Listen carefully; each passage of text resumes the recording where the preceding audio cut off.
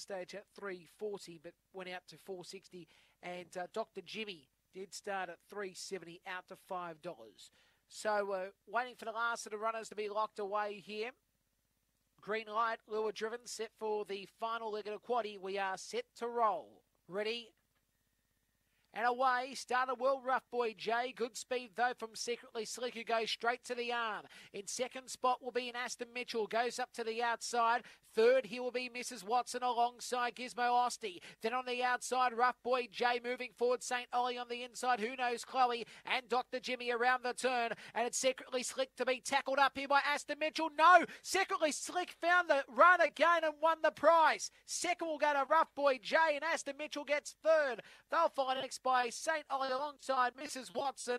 Then came Gizmo Osty with Dr. Jimmy, who knows Chloe, time 23 and 3.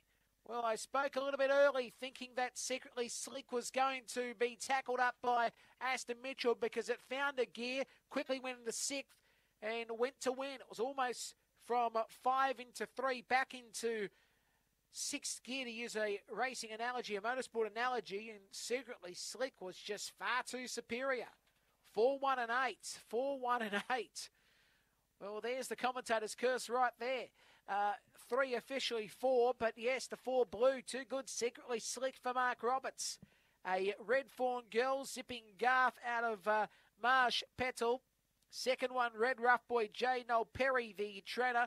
A black dog, Beckham Bale out of Balmer